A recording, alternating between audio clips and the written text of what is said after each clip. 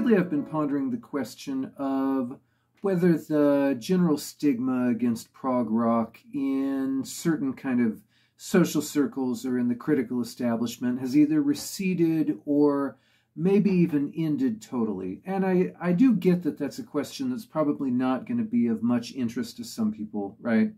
Um, it's easy to kind of just dismiss it all as, well, who cares what they think anyway? And sure, you know, that's that's fine.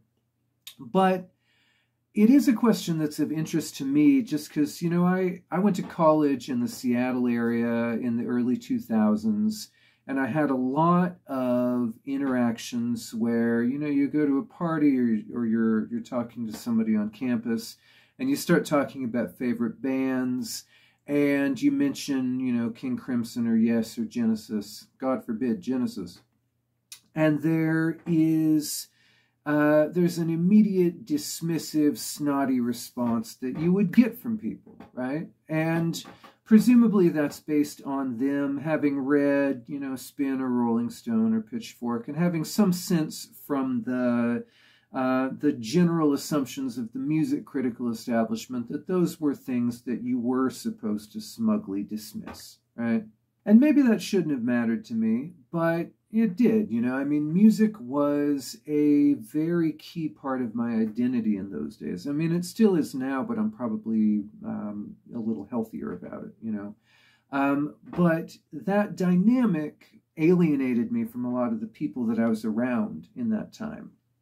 And the perception of hostility toward what I liked also put me off of a lot of things that I saw as hipster bands, right? Stuff like the Velvet Underground or Sonic Youth or newer things that were newer than like Pinback or Mew, who actually had kind of methods and styles and goals that were that overlapped somewhat with progressive rock, but that I tended to dismiss in kind of a defensive way, right? Because I I associated them with people who were uh, who were condescending dicks about things that I loved. And again, you know, this habit was based in in a message that people were getting from what used to be the sort of music critical establishment, right? And that's something that's of interest to a pretty small number of people, but circumstantially I was around those people a lot in those days. Uh, the most recent example I can think of of that kind of attitude is, you know, back in 2017, the uh, the political reporter Dave Weigel um, wrote a book about the history of progressive rock, and when that book came out, there was an article in the Atlantic saying basically like, no, let's not reappraise this stuff. It was all awful. That opinion does not need to be changed. Um, on the topic of Weigel, I remember he he published a series on prog rock for the the web magazine, the primarily political web magazine Slate. And, you know, there are headlines there that suggest, for instance, that Emerson, Lake, and Palmer are regarded as a joke, which is something that I don't think would be taken as a, a, default assumption now. I don't think it's something that would be said so casually in this context, actually, by someone who likes that music. Now, as far as the the things that made me think that this consensus was changing or receding, uh, I think the Genesis tour that just wrapped up yesterday, as of this filming, is probably a pretty big uh, a big catalyst for that, uh, or kind of a watershed, right?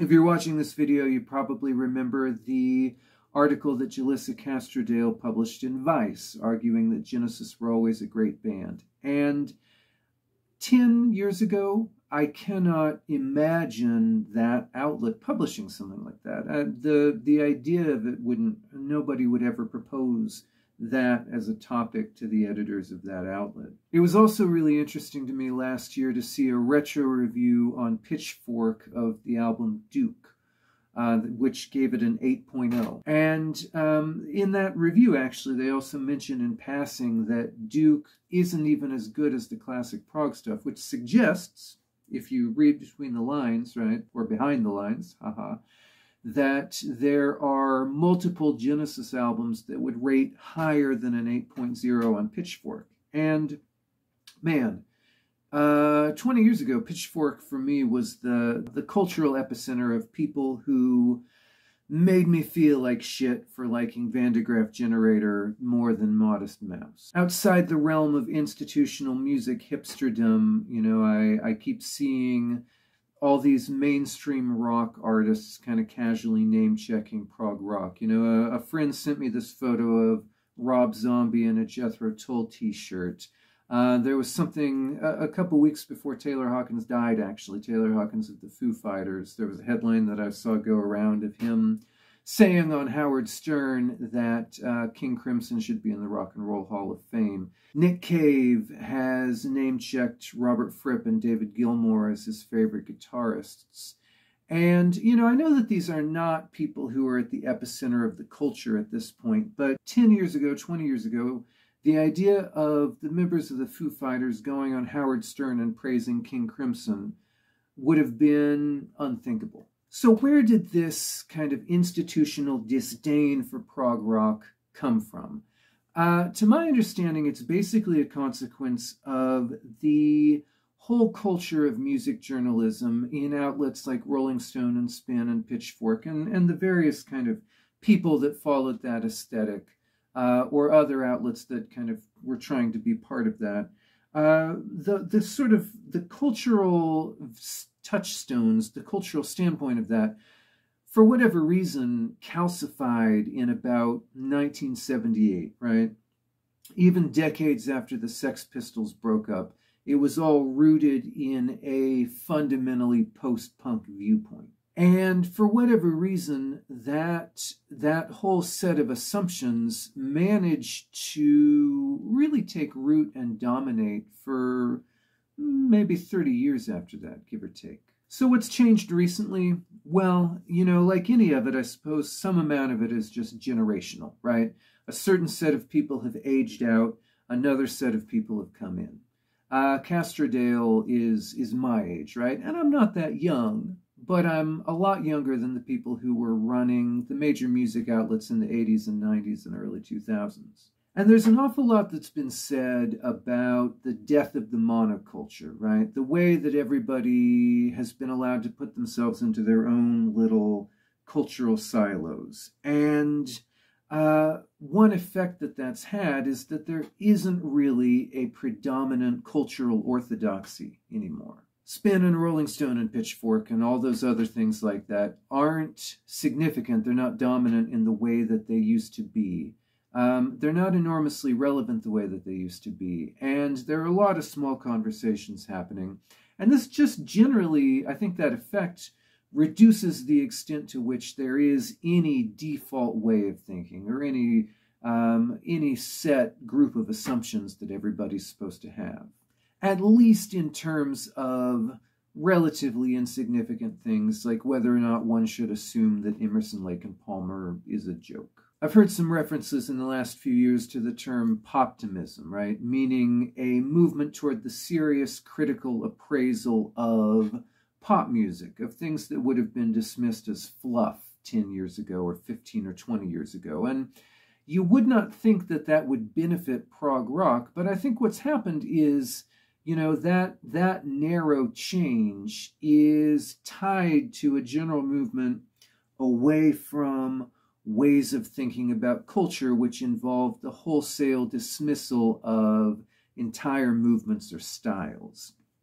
and usually that's framed as uh, it's framed as having to do with shifts in the dominant narratives around things like race or sexual identity um, but I think maybe it's had a side benefit to prog, even if the Atlantic says that it's the widest music ever. And I think maybe one side effect of the disappearance of the monoculture that doesn't get discussed as much is people don't spend as much time disliking music.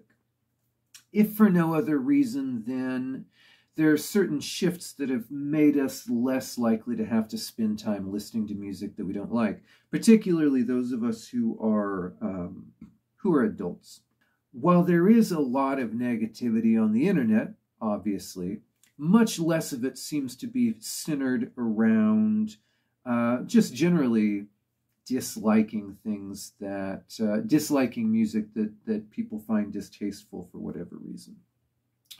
Um, so you know the the general movement away from a set of shared cultural assumptions, plus uh, the general movement away from kind of making a sport of you know bashing music that you dislike. Maybe that's been replaced by other forms of negativity. Uh, but it has, if nothing else, resulted in, like I mentioned earlier, um, the reduction of a shared set of assumptions that everybody has to hate prog rock.